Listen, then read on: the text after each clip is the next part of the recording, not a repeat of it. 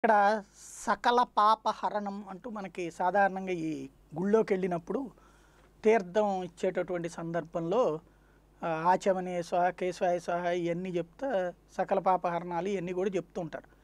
వీటిట్లలో ఒక విచిత్రమైనటువంటిది ఏంటంటే ఆంధ్రప్రదేశ్లో మీడియాలో ఎవరు వెళ్ళినా ఎవరు గెలిచినా కూడా పవన్ కళ్యాణ్ మధ్యలోకి లాగుతుంటారు.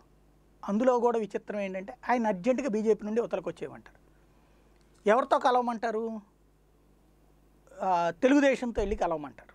నిన్నటి నుండి మళ్ళీ ఈ తెలుగుదేశం ప్రేమికులు బీజేపీ ద్వేషులు ఈ రంగంలో అంటే ఈ వీళ్ళలో మేధావి వర్గం కింద ముద్రపడ్డటువంటి వాళ్ళు మీడియా ప్రతినిధులు వీళ్ళందరూ కూడా అర్జెంటుగా ప్రత్యామ్నాయ రాజకీయం అంటే వీళ్ళ దృష్టిలో తెలుగుదేశం పార్టీ కాంగ్రెస్ వైసీపీ ఉండడం ప్రత్యామ్నాయ రాజకీయం. అంతేగాని మూడోది రావడం ప్రత్యామ్నాయం కాదు. ఇది వింత. మూడోది రానియరు వీళ్ళే. మళ్ళీ వీళ్ళే ప్రత్యామ్నాయ రాజకీయాలు దేశంలో ఉండాలంటారు. ఇది ఒక విచిత్రమైనటువంటి వ్యవస్థ అనమాట దేశంలో ప్రత్యామ్నాయ రాజకీయం ఉండాలి. బీజేపీకి వ్యతిరేకంగా కాంగ్రెస్ ఉండాలి కమ్యూనిస్టులు ఉండాలి ప్రాంతీయ పార్టీలు ఉండాలి. కానీ ఆంధ్రప్రదేశ్లో మాత్రం ప్రత్యామ్నాయ రాజకీయంగా ఇంకో జాతీయ పార్టీలు కానీ ఎవరు ఉండకూడదు. ఉండేవాళ్ళని కూడా జడగొట్టేయాలి మనం అర్జెంటుగా. మళ్ళీ కాంగ్రెస్తో కలవచ్చు వీళ్ళు. మళ్ళీ కాంగ్రెస్ మొన్నటిదాకా తప్పు చేసింది ఇప్పుడు కాంగ్రెస్ మంచిదే బీజేపీ చెడ్డది.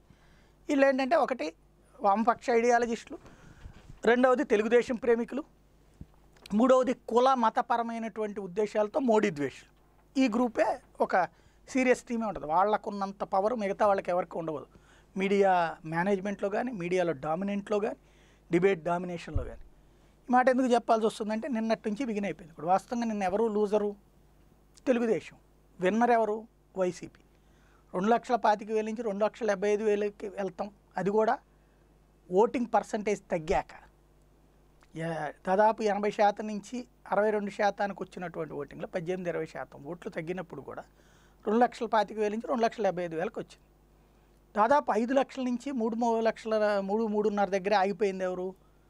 తెలుగుదేశం పార్టీ. ఏది పో పోనీ పోలింగ్ ఓటింగ్ పర్సంటేజ్ తగ్గిన దానివల్ల అనుకుందాం.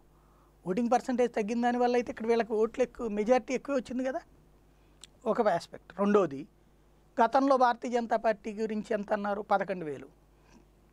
బీఎస్పీకి ఎన్ని అన్నారు? పదహారు వేలు. నోటా కంటే ఇద్దరికి తక్కువ అని చెప్పుకొచ్చారు. అప్పట్లో పవన్ కళ్యాణ్ వీళ్ళందరూ ఎటకారం చేశారు. ఏమని? పవన్ కళ్యాణ్ సింగల్గా పోటీ చేస్తే ఇంతే ఆయన బతుకంతే అందుకని ఆయన ఒక సీటే వచ్చింది వీళ్ళంతా. ఎప్పుడైతే తెలుగుదేశం పార్టీ పవన్ని కలుపుకెళ్ళాలి అంటే బీజేపీ పవన్ని ఇద్దరిని కలుపుకెళ్ళాలని చాలా శతవిధాల ప్రయత్నించింది. కాకపోతే బీజేపీ గట్టిగా అనుకుంటోంది కాబట్టి ముందు పవన్ని దూరం చేస్తే అప్పుడు సచ్చినట్టు బీజేపీ కూడా మన కాళ్ళ దగ్గరకు వస్తుందిలే అన్నటువంటిది వీళ్ళ ఉద్దేశం.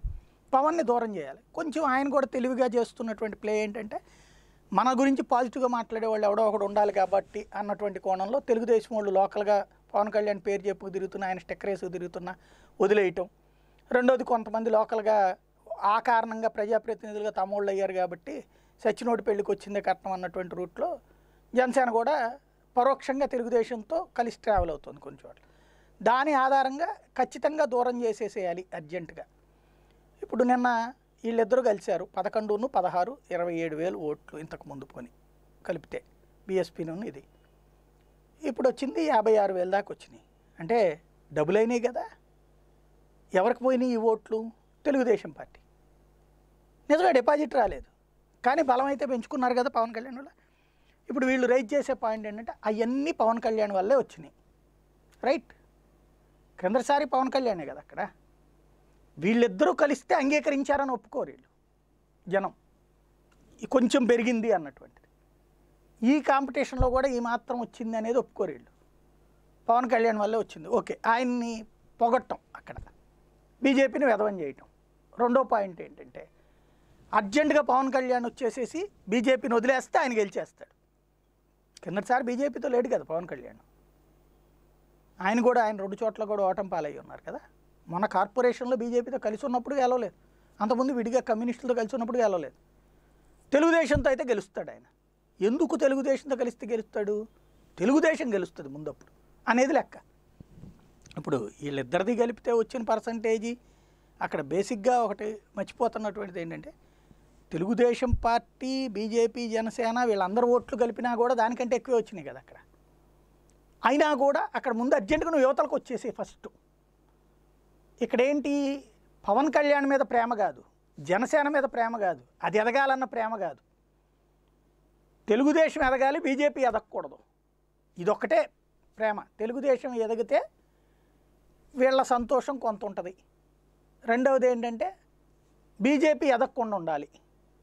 ఇది ఓపెన్గా అంటే బహిరంగంగా చేసేటువంటి ఈ విచిత్రమైనటువంటి విన్యాసం అంటే నిస్సిగ్గుగా అనాలేమో దాన్ని.